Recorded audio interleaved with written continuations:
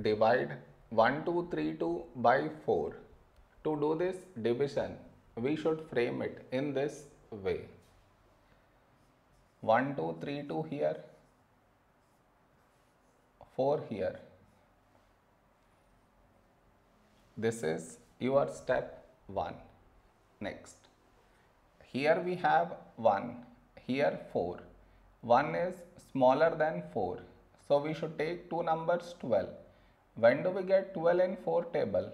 4 3s 12. Now we should subtract. We get 0. After this bring down the beside number. So 3 down. Now here we have 3, here 4. 3 is smaller than 4. So we should bring down the second number. And the rule to bring down second number is put 0 here then only we can bring this number down. So 32. When do we get 32? In 4 table is 4 8s 32. Now we subtract. We get 0.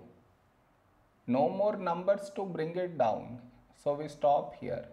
This is our remainder and this is our quotient.